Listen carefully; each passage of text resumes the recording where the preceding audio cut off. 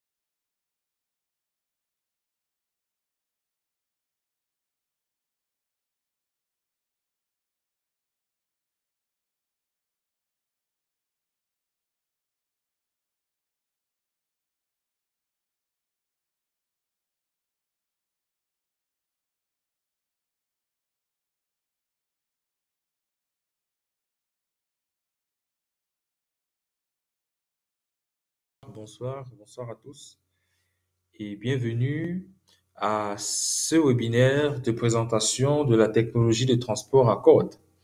Alors aujourd'hui, comme on l'a accoutumé, nous parlerons de cette merveilleuse technologie de transport à corde qui euh, s'apprête à occuper plus de 50% du marché mondial du transport. Et aujourd'hui encore, moi, Donatien Gérard, je vous parlerai euh, de cette technologie de transport à corde. Eh bien, je suis investisseur dans ce projet depuis 2018. Et aujourd'hui, nous parlerons, premièrement, des dernières nouvelles du projet. Ensuite, nous verrons quels sont les facteurs négatifs de l'activité de l'homme qui conduisent à la destruction de l'environnement. Parlerons des problèmes, des risques et des sécurités du système de transport actuel. Nous verrons les possibilités et les perspectives du système de transport innovant qui est en train d'entrer sur le marché mondial du transport. Et je vous montrerai donc comment vous pouvez contribuer à l'avènement de ce transport écologique et sûr. Nous verrons qu'est-ce que Skywalk Community offre et quels sont les avantages et les perspectives que vous tirerez de votre participation à ce magnifique projet. Alors, nous commençons. L'ambassadeur du Paraguay a apprécié le transport à corde à Sharjah. Le centre d'essai de Sharjah a été visité par José Agüero Avila, ambassadeur de la République du Paraguay aux Émirats arabes unis. Le diplomate s'intéresse aux nouvelles technologies qui peuvent être mises en œuvre dans son pays et à la recherche de partenaires fiables, dont l'un pourrait être le projet de transport à corde. Lors de cette visite, l'ambassadeur et d'autres délégués ont eu un voyage d'essai sur un unicar tropical certifié. La plupart des invités ont aimé le design du transport et son confort et son salon confortable. Après ce petit voyage, les délégués ont visité l'avion où un modèle de transport à grande vitesse a été exposé. Cette machine peut accélérer jusqu'à 500 km par heure en dehors de la ville, peut accueillir personnes et est équipé d'un système multimédia. Le transport de marchandises à corde capable de transporter jusqu'à 100 millions de tonnes de marchandises par an. Même dans les endroits avec un terrain difficile, les obstacles d'eau et des bâtiments massifs a suscité un intérêt particulier pour les délégués. Ceux-ci ont également visité le bureau de l'entreprise qui s'est engagée dans le développement du projet au Moyen-Orient. La cour intérieure de ce bâtiment a créé son propre écosystème avec des plantes, des oiseaux, des petits étangs, des abeilles. De tels bâtiments peuvent être utilisés dans des colonies de clusters d'un nouveau type de ville linéaire. Ok, la société de transport Accord a testé le fonctionnement d'Unibus aux heures de pointe. Au centre de ces deux, la technologie Accord de Biélorussie, les tests ont été effectués avec un unibus de 48 places, organisé dans des conditions de charge maximales. Pour ce faire, des dizaines de personnes sont entrées simultanément à bord de la voiture et ont parcouru environ un kilomètre. Le test a montré que le complexe est entièrement prêt à fonctionner pendant les heures de pointe. Notez que l'embarquement dans l'unibus se fait de deux côtés. Cela permet aux passagers d'entrer rapidement dans la cabine et de réduire ainsi le temps de séjour à la gare. À l'intérieur de l'unibus, ok, celui-ci est équipé de plastiques et de bouts dont le nombre total peut être augmenté à l'aide de modules supplémentaires. Dans des conditions réelles, un système de, de contrôle automatisé permettra d'éviter un grand nombre de personnes à la station. Il, il réduira donc les intervalles de circulation si le trafic passager venait à augmenter. Alors, une grande nouvelle pour tous les investisseurs dans le projet, c'est que nous passons à l'étape 14.3. Le transport à côte passe à la sous-étape 14.3. Nous sommes heureux d'annoncer que le 19 octobre 2022, à 23h59 minutes GMT plus 3, donc à 20h59 minutes GMT, le projet de transport à côte passera à la sous-étape de développement 14.3. La sous-étape actuelle a duré 17 mois. Rappelons les principales réalisations au cours de cette période. Tout d'abord, aux Émirats arabes unis, à Sharjah, la certification du transport à corde a passé. Les autorités de l'Émirat ont donné l'autorisation de tester l'exploitation d'une piste légère dans le centre d'essai. La version d'exposition du transport à corde à grande vitesse se trouve maintenant dans le pavillon, spécial du centre d'essai. L'inventeur de la technologie à corde, Anatoly Unitsky, a annoncé la signature des quatre premiers contrats pour des projets ciblés. Le projet a participé à l'Expo 2020 à Dubaï. Au cours de l'exposition, plus de 100 délégations du monde entier ont visité le centre d'essai. Ils ont passé la certification selon les normes de gestion environnementale et de, et de protection du travail. Les deux supports d'ancrage sont installés sur la piste numéro 4 longue de 2,5 km avec des supports intermédiaires par incrément de 144 et 288 mètres. L'installation des rails à cordes a commencé en Biélorussie. OK, nous avons monté un transport de passagers spacieux qui sera testé sur les routes lourdes dans les Émirats arabes unis. On a annoncé un modèle amélioré du transport à cordes à grande vitesse avec une aérodynamique améliorée et un intérieur plus confortable. Dans la prochaine étape, les spécialistes du projet prévoient de terminer complètement la construction et la finition des ancrages sur les routes numéro 2 et numéro 4 à Sharjah, d'installer des rails et de tester de nouveaux modèles de transport passagers et de marchandises. Donc, nous avons la possibilité aujourd'hui d'obtenir plus de, plus de parts avant la réduction de l'escompte. Après le 19, l'escompte pour les offres d'investissement dans votre back-office diminuera.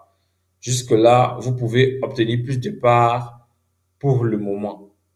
Rappelez-vous que maintenant, dans le back-office, une promotion est valable selon les thèmes de laquelle pour les investissements personnels attirés dans la période du 21-6 au, au 30 vous recevez des coupons x2. Moi, j'ai reçu mon coupon et euh, J'invite tous ceux qui veulent rejoindre le projet actuellement à contacter leur upline, ce qui leur parle du produit, ils puissent avoir ces coupons x2 qui leur permettra d'avoir le double d'actions prévues pour chaque pas qu'ils prendront. Alors, nous parlons de la technologie de transport à code. Eh bien, c'est quoi? Il s'agit ici d'une solution innovante aux problèmes modernes de transport urbain et de marchandises aussi. C'est un projet international qui se développe en Biélorussie et aux Émirats arabes unis qui donne la possibilité de devenir copropriétaire d'une technologie analogue dans le monde. Eh bien, en 1914, l'usine de confiserie russe appelée Enia produisit des bonbons avec des inserts publicitaires réalisés par un artiste de science-fiction. C'est ainsi qu'il a réalisé le monde dans un avenir proche et elle a une escatade ajourée avec un wagon suspendu. Dans l'illustration suivante, les voitures et les tramways entrent en collision. Des gens courent, essayant de ne pas tomber. On aperçoit toujours le même tramway céleste. Cette situation que vous voyez ici, vous êtes déjà familier, pas seulement par des images, non. C'est notre monde, c'est le transport de niveau 1, c'est-à-dire le transport qui se déplace directement à la surface de la Terre. Chaque année, un million et demi de personnes meurent dans des accidents de voiture. C'est bien plus que toutes les tragédies énumérées. Les effondrements du transport affectent l'économie. Les ports surchargés n'ont pas le temps de attendre, donc chacun le. Ainsi, nous désignons les deux premiers problèmes du transport moderne, le trafic dense des routes de transport et la mort des personnes. En construisant des routes, l'homme envahit la nature. La nature, elle, vit sa vie et essaie de résister à l'homme, tant bien que mal. Tu es persévérant, tellement insistant qu'il oublie même qu'il tue le monde dans lequel il vit. Le carburant que l'on utilise aujourd'hui, pour la nature, elle ne peut plus résister. Alors, le problème majeur de notre époque, donc, c'est la pollution de l'environnement.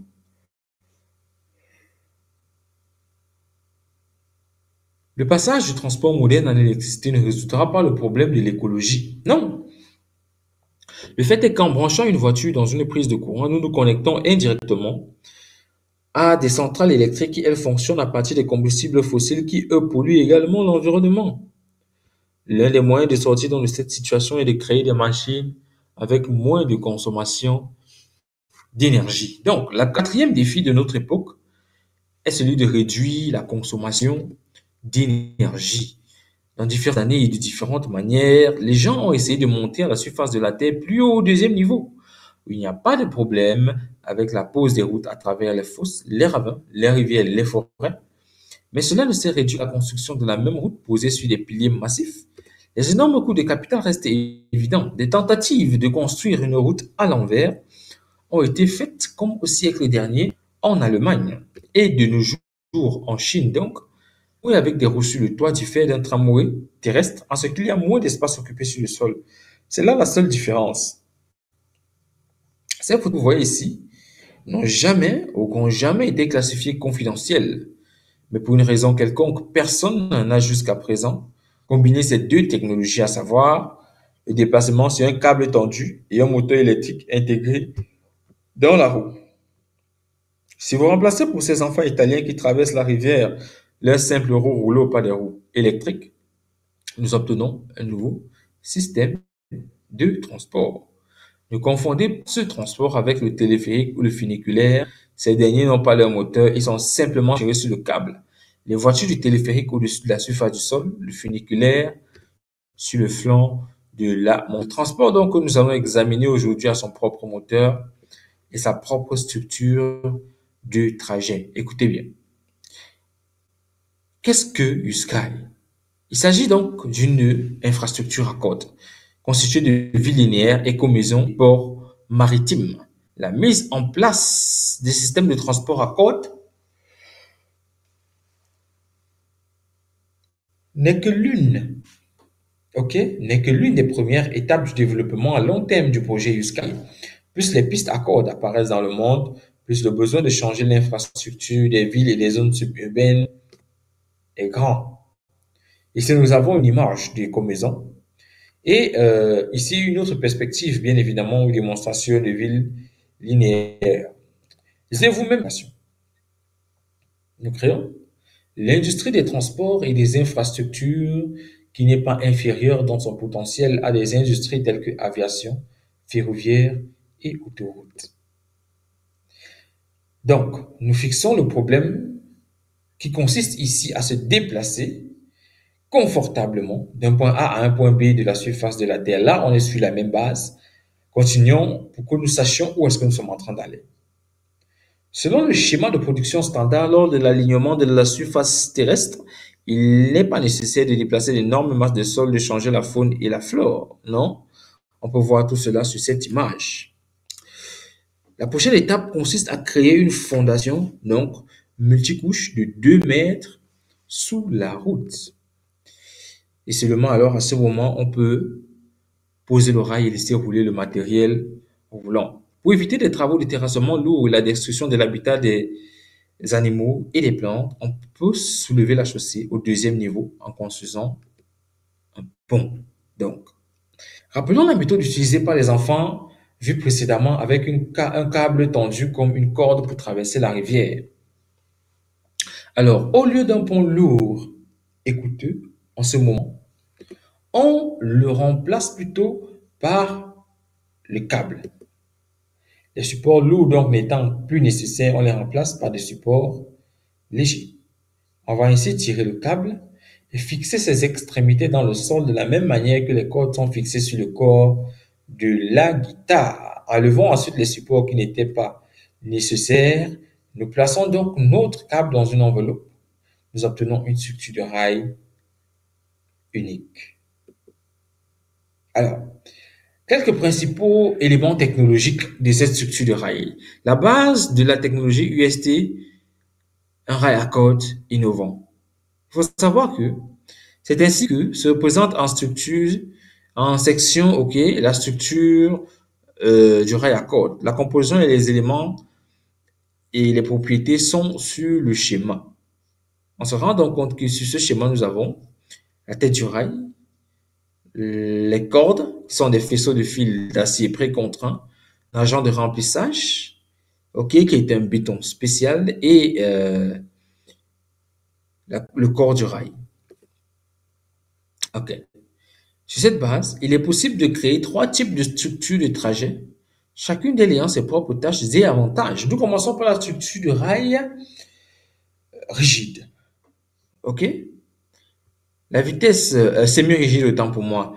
La vitesse autorisée pour les véhicules roulant sur ce type de trajet est entre 50 et 205 mètres par heure. Pour les rails rigides, pour les rails rigides, la vitesse autorisée va entre 100 et 500 km par heure. Et pour terminer, pour euh, les rails flexibles, nous sommes entre 30 et 150 km par heure. Alors, voici à quoi ressemble la conception du châssis. On se rend compte qu'on a bien évidemment là un inverseur de moteur, un radiateur système, un convertisseur de tension, un système euh, anti-déraillement que vous pouvez donc voir en version plus claire sur ce schéma. Donc, le système la conception a un système anti-déraillement spécial. Regardez ici les dimensions réelles du rail semi-rigide et même flexible. OK. Ce photomontage montre des aubans supportant le vrai pont. Les mêmes aubans peuvent servir de base à la structure de trajet à corde. En passant dans ce cas, vous pouvez vous passer des intermédiaires, des supports intermédiaires dans l'eau. La largeur de la rivière à cet endroit peut être facilement bloqué par une seule travée. Ceci, ce n'est plus du tout un photomontage, mais une vraie photo prise. En octobre dernier, ok, octobre 2020, dans le Centre de recherche et d'innovation technologique à Sharjah, lors de l'Expo 2020. Une caractéristique distinctive des structures de trajet de rail à corde que les rails n'ont pas de soudure, ce qui signifie que nous n'entendrons pas le bruit caractéristique des rails amassés sur le roue la roue en acier, autant pour moi. La tâche la plus importante du transport du deuxième niveau est d'assurer la sécurité maximale des passagers. L'absence de pilote et le passage au contrôle automatique éliminent l'influence du facteur humain. Il est possible de réduire la charge sur la structure de trajet et augmenter la capacité passante de la manière suivante. On peut subdiviser la grande composition en wagons automoteurs séparés et les envoyer non pas une fois par heure, mais toutes les 10 secondes. Avec le développement moderne de la technologie informatique et l'automatisation complète du processus, il ne sera pas difficile de résoudre un tel problème logistique. Maintenant, revenons aux photos déjà familières ou plutôt aux moteurs. Ceci, c'est l'une des roues moteurs créées spécialement pour le transport à cordes. Les avantages de ces roues sont non seulement la simplicité, la compacité et la puissance, mais aussi la consommation d'énergie réduite. Ceci est également facilité par la résistance minimale lors du roulement de la roue en acier sur le rail en acier. La solution la plus importante pour réduire la consommation d'énergie est de réduire la résistance aérodynamique à l'air. Lorsque la vitesse du véhicule augmente, la consommation d'énergie augmente considérablement. Les courants de vent complexes autour du corps d'une machine qui roule sur le sol affectent grandement la composition, euh, la consommation de carburant de celle-ci.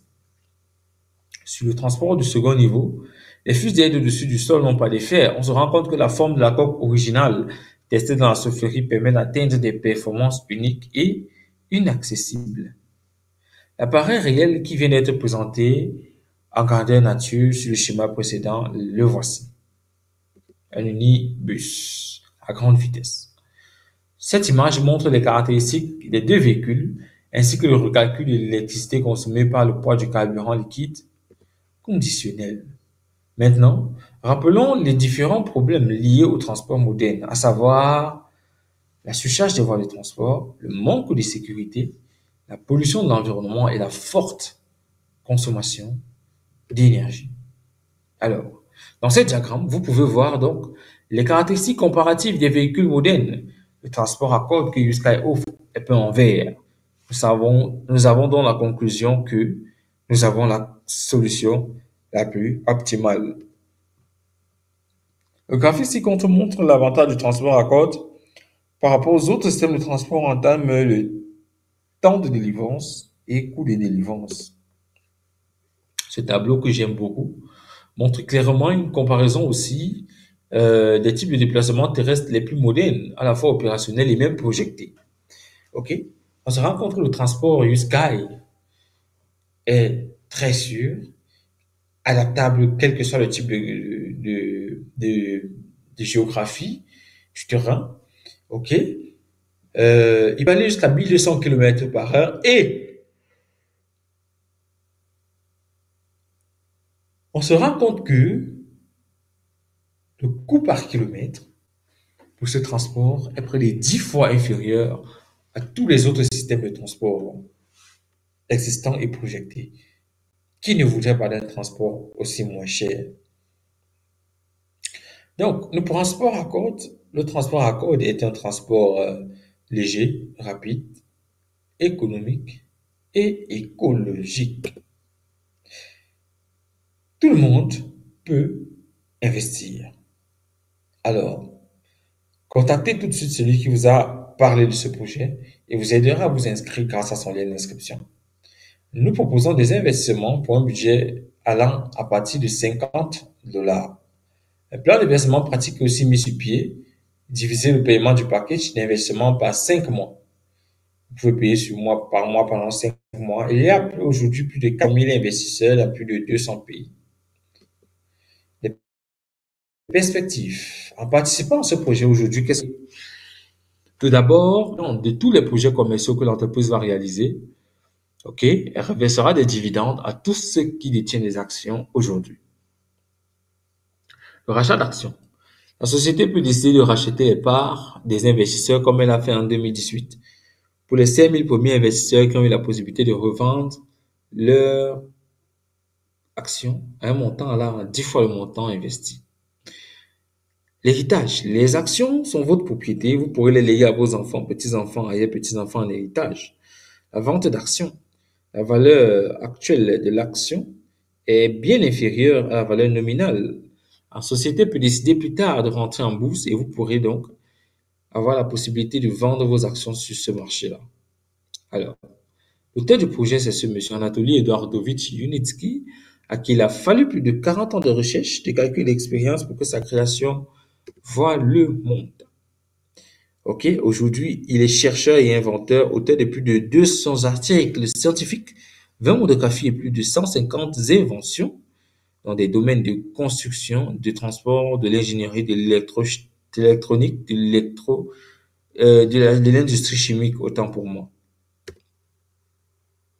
L'état de sa biographie et ses développements peuvent être trouvés sur son site uniski.ingénieur. Il y a aussi des matériaux pour ceux qui sont particulièrement curieux avec des calculs bien détaillés. OK?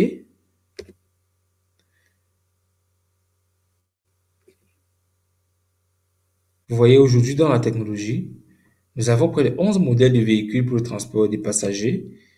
OK? Et euh, d'un autre côté, modèle de transport pour le transport des marchandises. Tous certifiés transport au des rails à cordes se déplace au-dessus des routes et au-dessus de l'eau sans interférer avec les autres modes de transport. Il peut, ok, il s'intègre facilement à n'importe quel environnement occupant un minimum d'espace à la surface de la Terre. Ni les montagnes, ni les, ni les forêts, ni les zones ne sont des obstacles. Le transport à cordes, il n'est pas nécessaire de déniveler le terrain, de bloquer les voies de migration des animaux et de détruire la couche fertile du sol. Il a besoin de l'accès au sol le plus minimal qui soit. Le transport à cordes aujourd'hui s'intègre facilement à la fois dans le paysage naturel et les infrastructures urbaines. Ayant ses propres supports, il peut traverser les bâtiments sans charger la fondation.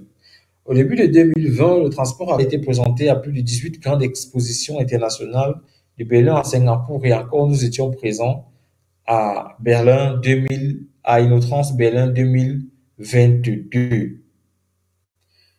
Après, sur le marché, tout véhicule, en particulier celui impliquant le transport des personnes, doit subir de nombreux tests d'essai. Les documents confirmant que la société, le transport accord a passé les tests peuvent être trouvés facilement sur le site. Le certificat correspondant a été délivré par TVSW.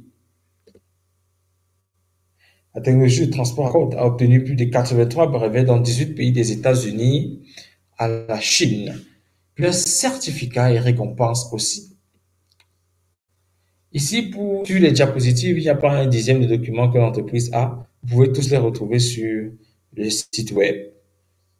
OK? Aujourd'hui déjà, l'entreprise a déjà fait l'objet du reportage sur plus de 24 chaînes de médias internationaux, en passant par CNN, The National, Business 24, ABC News, Fox News, et ainsi de suite, France 2. Sans aucun doute, il est impossible pour une seule personne de mener à bien un tel travail titanesque. Voilà pourquoi la société Uniscripting Technologies a été créée en Biélorussie. Euh, euh, depuis 2019, la société emploie plus de 1000 professionnels hautement qualifiés. La structure est de 80 départements et bureaux d'études. La propriété des bureaux et de production couvre une superficie de 10 000 mètres, plus de 10 000 mètres carrés. Dans sa propre production, il y a 11 machines complexes qui ont été conçues et fabriquées, tandis passagers urbains et interurbains. L'achat des investisseurs a permis de construire un écotechnoparc non loin de la ville de Minsk en République de Biélorussie. Chaque année, à l'heure de l'éco-fest, des milliers d'investisseurs se rassemblent sur ce site pour voir de leurs propres yeux ce qui s'y passe. À chaque fois, quelque chose de nouveau ici est montré.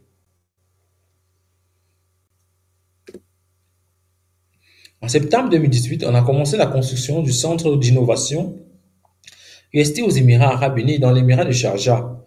Le centre d'innovation UST de Sharjah est un groupe de recherche et de production qui deviendra la poste du groupe c'est lorsqu'il entrera sur le marché du Moyen-Orient et de l'Asie. Ces photos sont prises en 2019 sur le site de construction Le transport aux Émirats arabes unis sera une preuve supplémentaire que cette technologie peut fonctionner dans toutes les zones climatiques de la planète. Il ne fait donc aucun doute que tout cela sera bientôt mis en œuvre et donc dans un avenir pas si loin s'intégrera facilement dans le paysage naturel, ne se prendra plus comme le métro ou le tram aujourd'hui. Donc nous pouvons dire, euh, sans risquer de se tromper, que le transport à corde est un transport innovant, rapide, sûr, économique, facile à intégrer, respectueux de l'environnement. Alors, merci beaucoup pour votre aimable attention. Comme d'habitude, je vous laisse avec cette belle vidéo où le leader Alain du Cameroun était devant une uniflash. C'est tout simplement magnifique. Je vous donne rendez-vous à lundi prochain pour plus de dernières nouvelles du projet.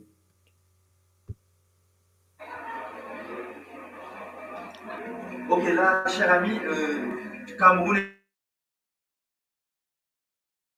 et d'Afrique francophone, nous sommes dans le début à grande vitesse. Chaque fois, euh, on a l'habitude de le voir nader. Aujourd'hui, c'est du réel. C'est du réel. Je vous invite